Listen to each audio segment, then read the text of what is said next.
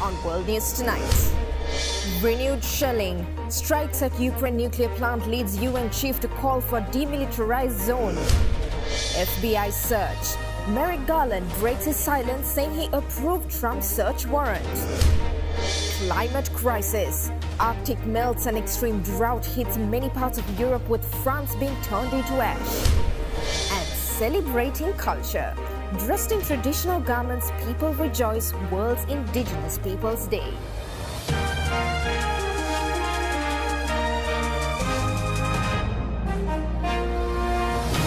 This is Ada Derana World News Tonight. Reporting from Colombo, here is Suzanne Shanali.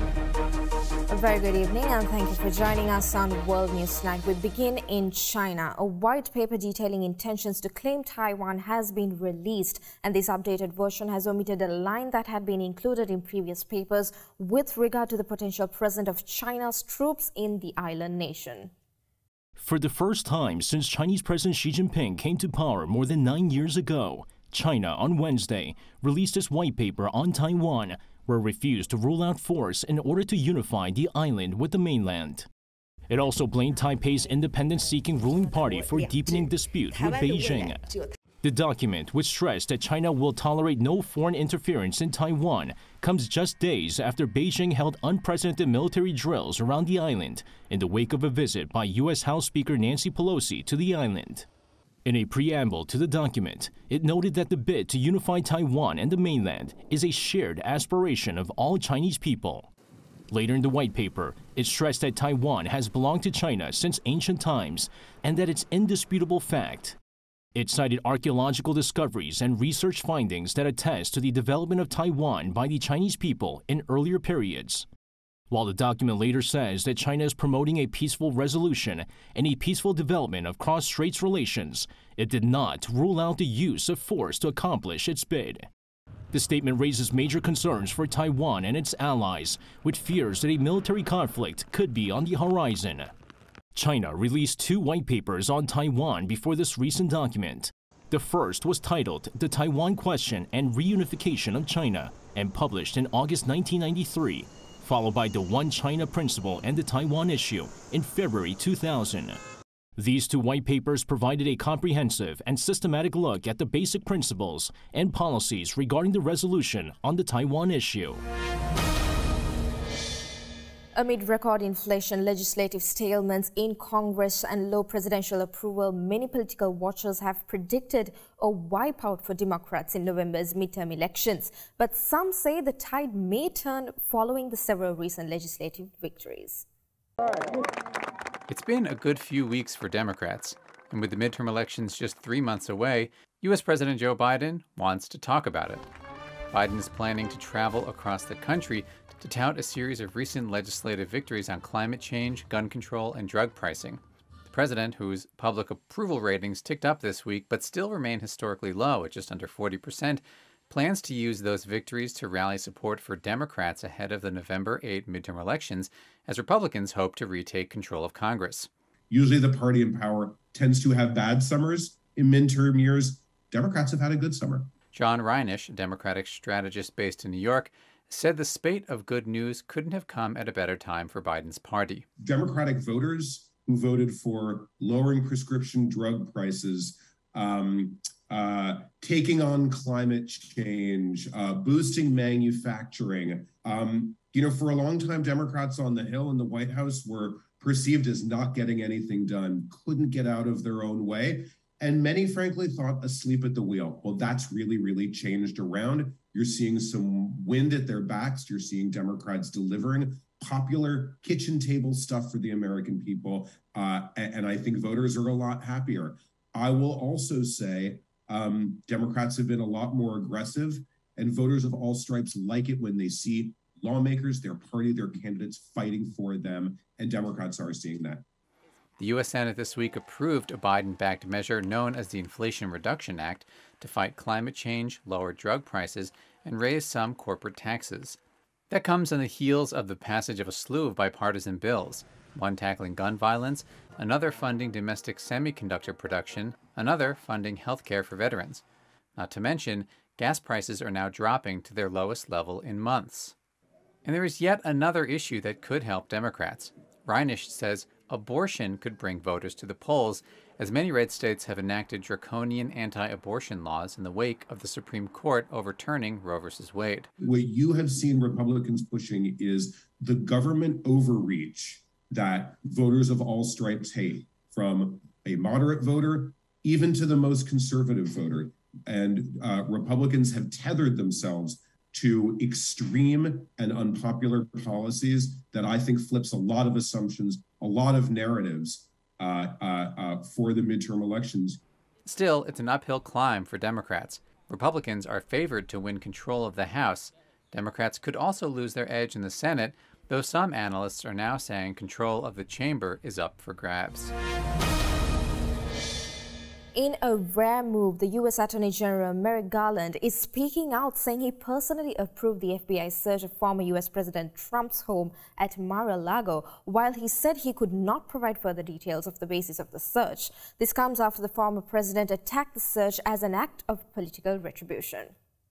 In an extraordinary appearance, the Attorney General made a careful exception to the usual secrecy of investigations under pressure to explain the Monday search of former President Trump's Mar a Lago home and office. First, I personally approved the decision to seek a search warrant in this matter.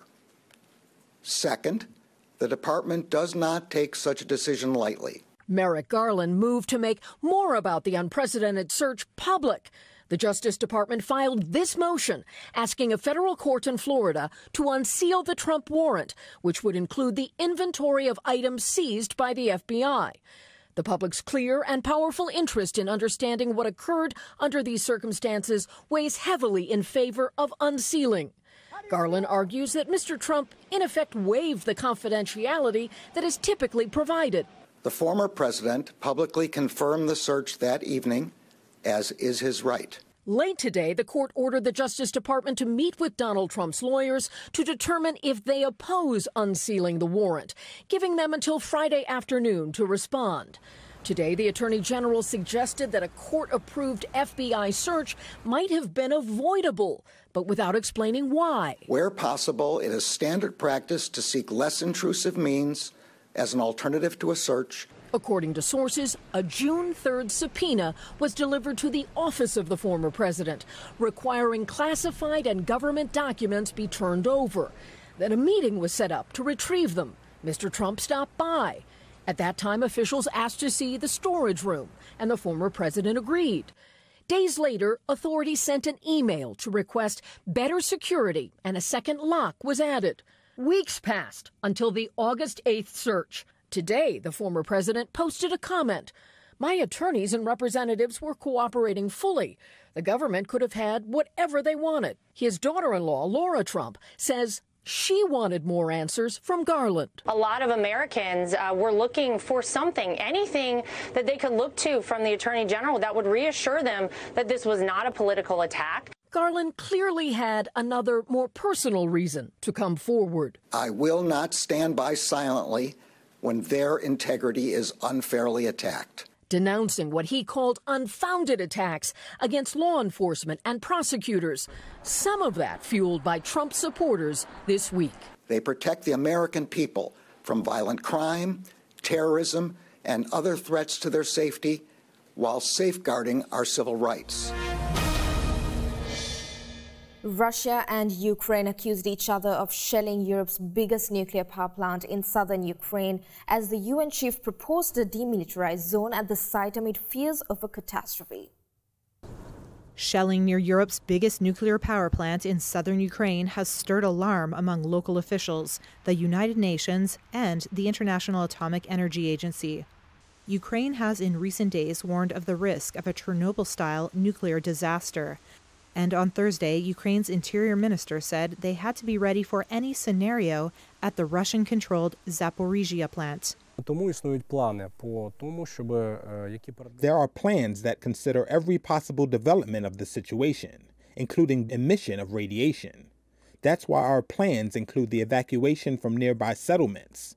I want to remind that this is the largest nuclear power plant in Europe. It has six energy blocks. Of course, it's difficult to even imagine the scale of the tragedy. which could come into effect if Russians continue their actions there.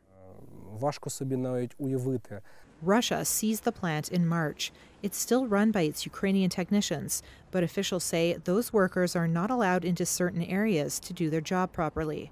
And on Thursday, Moscow and Kiev blamed each other for a renewed shelling. Ukrainian President Vladimir Zelensky on Thursday strongly condemned what he called Russia's nuclear terrorism. Russia has become a terrorist country and is holding nuclear power stations hostage, blackmailing everyone with a potential disaster. UN Chief Antonio Guterres urgently called for a demilitarized zone around the plant, a call echoed by IAEA Chief Rafael Grossi, who briefed the 15 member UN Security Council on Thursday at the request of Russia. These military actions, dear colleagues, near such a large nuclear facility could lead to very serious consequences. Russia's UN ambassador urged IAEA representatives to visit the plant as soon as possible, saying the world was being pushed to the brink of nuclear catastrophe, comparable in scale with Chernobyl. The Arctic has warmed nearly four times faster than the rest of the planet over the last 40 years, according to research published that suggests climate models are underestimating the rate of polar heating. Massive, crumbling blocks of ice, signs of an alarming trend in the North Pole. During the last 43 years, the Arctic has been warming nearly four times faster than the globe.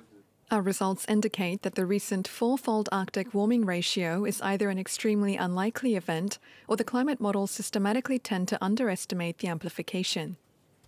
The study was conducted by analyzing temperature data gathered since 1979 over the entire Arctic Circle. The findings showed that the Svalbard archipelagos off the coast of Norway have even warmed a staggering seven times faster than the rest of the world. The Arctic is heating up faster than any corner of the planet due to multiple factors, such as changes in the amount of air pollution coming from Europe and natural multi decade climate variations, but the main underlying culprit being human caused global warming. Experts warn of detrimental repercussions across local communities and wildlife. Separate studies show the vast body of ice sheet covering Greenland may be approaching a melting tipping point. That sheet contains enough frozen water to raise global sea levels by some six meters. It's going to a short commercial break. We'll be back soon with more world news.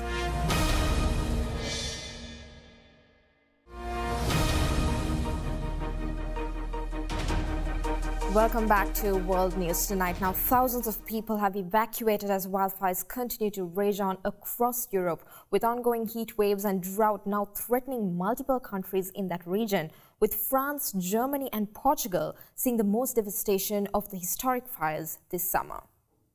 A scorched car and not even four walls are all that remains of this house in Belin-Béliet. Firefighters worked all night to stop a massive fire in the Gironde region in southwestern France. Some were unlucky, but others were thankful to find their homes untouched by the flames. The wind changed and pushed the fire here, so we saw flames just outside our house. But we can say a big thank you to the firefighters. The fire, now focused around the towns of Landiras and Hostens, originally sparked in July, but continued to smoulder after it was contained and flared again two days ago. The fire destroyed 600 hectares last night. As of this morning, that's a total of 6,800 hectares. Visiting the area along with the Interior Minister on Thursday, French Prime Minister Elisabeth Borne promised more equipment to fight the flames. We have never mobilized so many resources and we will continue to reinforce them. When the president came here in July, we had two water bombing helicopters. We have nine today and we'll have 11 by the end of the week. Countries across Europe have sent reinforcements to help extinguish the blaze. That includes two tanker planes from Greece, two Swedish water bombers, as well as firefighters from Poland, Germany, Austria, and Romania. So far this year, France has seen more than 57,000 hectares destroyed by wildfires. Relief efforts in response to the damage caused by the recent rain continues in South Korea, but quite a number of roads and parks along the Han River in capital Seoul remain closed. Authorities say the death toll from the downpour stands at 13, while six people remain missing. South Korea is grappling with the damage caused by the record downpours that flooded homes and roads in the country's central region earlier this week. According to the Central Disaster and Safety Countermeasures Headquarters, 13 people died as a result of extreme weather conditions, while the search continues for six that are still missing. At least 18 people were reported to have been injured. The heavy rain forced nearly 5,000 people, mostly in the greater Seoul area, to evacuate their homes. Some 9 square kilometers of farmland were also submerged. That's an area bigger than 1,600 football fields. Meanwhile, on Wednesday, Seoul City announced plans to spend 1.5 trillion won, or 1.15 billion US dollars, over the next decade to build six large-scale underground rainwater storage and drainage facilities, also called deep underground tunnels, to better handle such natural disasters. Those plans won't come soon enough, however, as more heavy rain is expected next week, which is likely to cause further damage across the country. A strong rain front is expected to hit the Seoul metropolitan area starting Monday night and Chungcheongdo provinces by Tuesday morning. While the duration of the downpours may not be long, even more rain is expected than in the torrents already seen due to lingering atmospheric conditions. Meanwhile, Prime Minister Han Duck-soo on Friday instructed the government to swiftly take steps to designate special disaster zones for areas hit by the heavy rain earlier this week. Such designations will make them eligible for government financial support, which includes recovery work as well as relief funds for victims. While the Liberation Day long weekend is expected to have clearer weather, people are advised to prepare for heavier downpours next week to minimize further damages. South Korea's President Yoon Suk-yeol has granted his first round of presidential pardons ahead of the National Liberation Day. Samsung Electronics Vice Chairman J.Y. Lee was pardoned with South Korea's Justice Ministry, saying that the business leader was needed to help overcome a national economic crisis. Samsung Electronics Vice Chairman and former leader J.Y. Lee, who was once jailed for bribery, was pardoned by South Korea's President Yoon Suk-yeol on Friday. The act, however, was largely symbolic. Lee is already out on parole, released last year after serving 18 months in jail. But South Korea's justice minister said the move was weighed against more pressing issues. With an urgent need to overcome the national economic crisis, we carefully selected economy leaders who lead the national growth engine through active technology investment and job creation to be pardoned. By giving them a chance to take part in the economic development once again, we would like to maximize our efforts to overcome the economic crisis. South Korea is grappling with inflation, and there are signs it's struggling with weak demand and a spending slowdown. It's also heavily dependent on tech and exports, and Samsung is by far the biggest of the country's conglomerates, as well as the biggest maker of smartphones and memory chips in the world. Analysts believe the presidential pardon could grant Lee more freedom to conduct business and may mean big M&A moves are around the corner. Others warn that legal risks still persist as Lee still faces charges of fraud and stock manipulation in another ongoing trial. Lee, who is a descendant of Samsung's founding family, welcomed the decision and vowed to work hard for the national economy. 국가 경제를 위해서 열심히 뛰겠습니다. Lee had already returned to the limelight long before his pardon. Last November, Samsung decided on Taylor, Texas as the site of a new $17 billion chip plant, while in May, Lee appeared alongside President Yoon and U.S. President Joe Biden on a visit to Samsung's chip production facilities.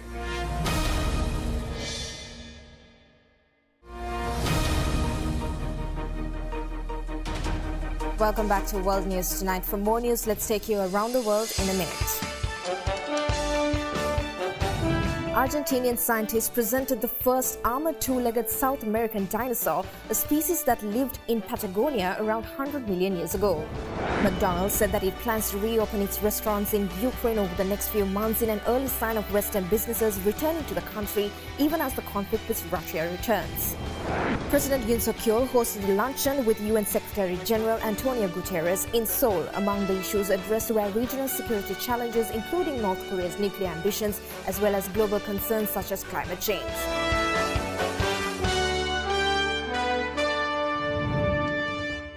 And that's all the news we got for you tonight. Join us again on Monday for more news around the globe. In case you missed to watch any of the stories we aired tonight, you can always rewatch by catching us on our YouTube channel, youtube.com slash English. And finally, we leave you tonight with indigenous people from all over Mexico gathering in Mexico City's Zocalo to mark International Indigenous Peoples Day.